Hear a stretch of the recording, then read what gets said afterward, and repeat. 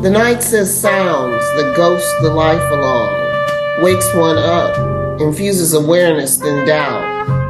My mind is a Coltrane improv.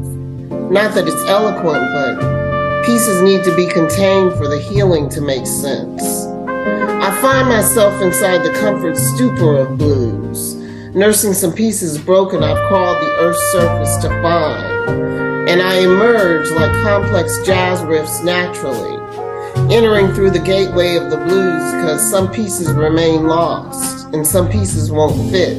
And pieces are broken and have to be creatively composed into something new, something improvised, something of the moment, because life's evolution is without notice. And all this composed as a choir of ragged, raging voices provide a score. I lost my voice in a mirage of auditory hallucinations. Ancestors lost their names in cultural shock on these shores. Heard her sing in colors like a rainbow she used for a jump rope. A piece of herself was missing. So she smiled, and then she laughed.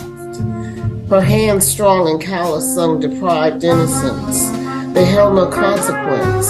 A quiet despair from forced degradation of an elusively powerful culture followed. She hid her culture in sounds, in visual incantations, and mind rhythms of the soul she birthed the blues.